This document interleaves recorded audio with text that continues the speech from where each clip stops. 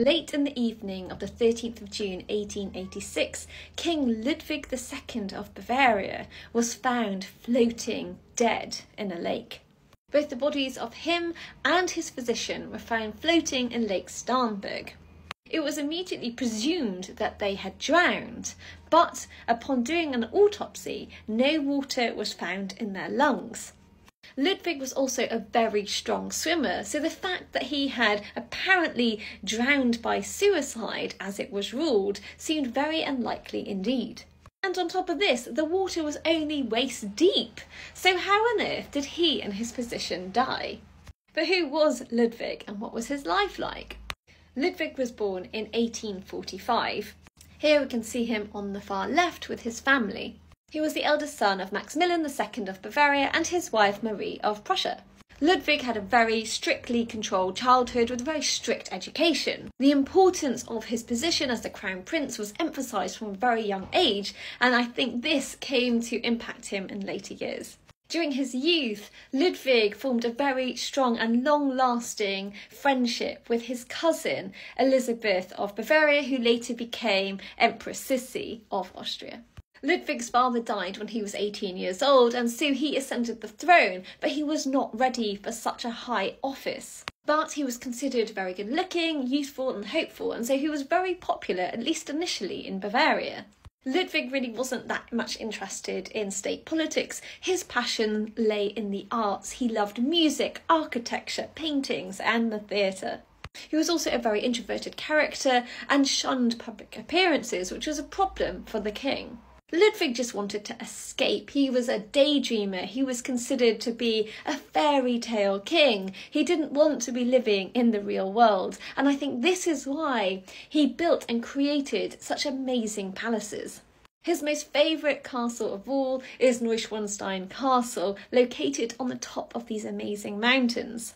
Ludwig wanted to create the ultimate fairy tale palace to which he could escape, and he used his own funds to build it rather than public money, but he had to borrow heavily to do so. I've been to this castle, and indeed it is very impressive, the location particularly, but it was actually never completed. He died before he got the chance to finish it. Ludwig was also a great fan of Louis XIV, the Sun King, so much so that he basically built his own version of Versailles, seen here.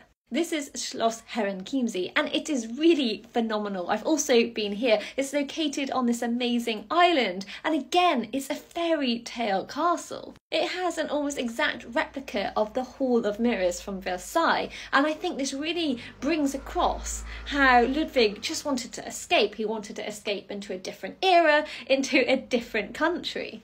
He also built Linderhof Palace, which is in southwest Bavaria, and this is the only castle slash palace that he actually completed during his lifetime.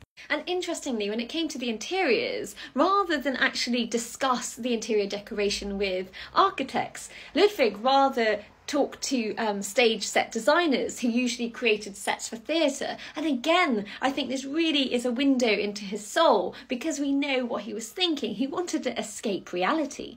Anyway, as you can imagine, all of this lavish spending, this lack of dedication to his role as king, soon got people quite angry.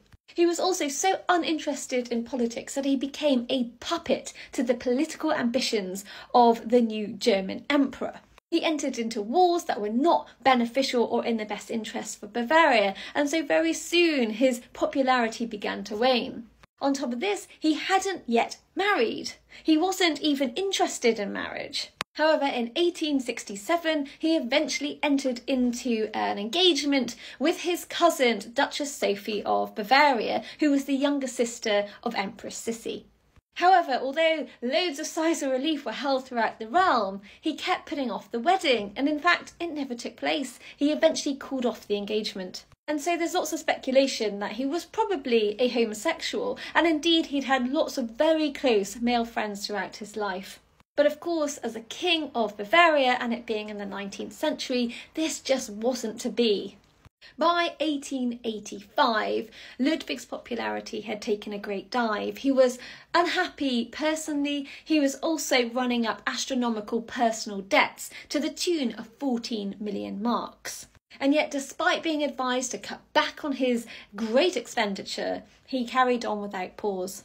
And of course, because of this, many of his ministers started to label him as being a mad king and mentally unstable.